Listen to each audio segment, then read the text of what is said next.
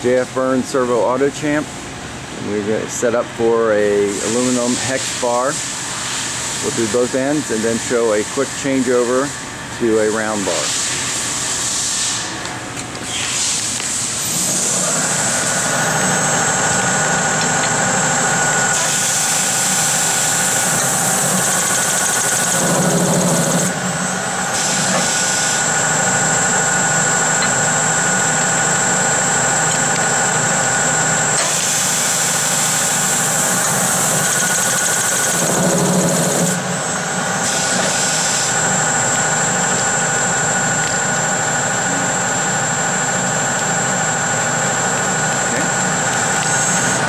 Stop the machine, do a changeover for the round bar.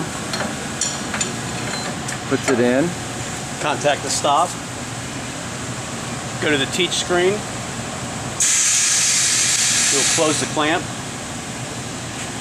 Now we'll just roll. Release the servo.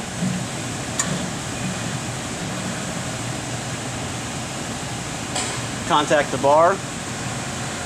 We'll first load the recipe though. Go to the recipe select button. This is our this is 7 16 round stock. We will load it.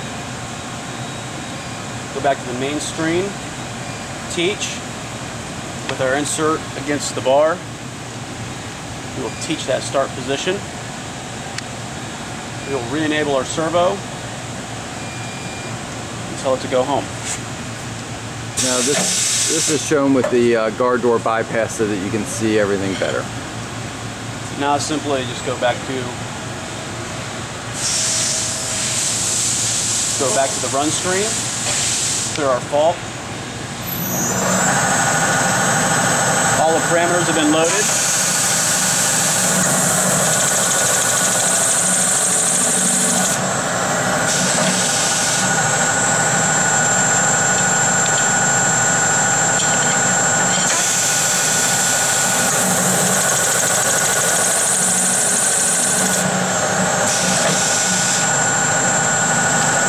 Shows going from a round to a hex bar. Change over how quick and easy it is.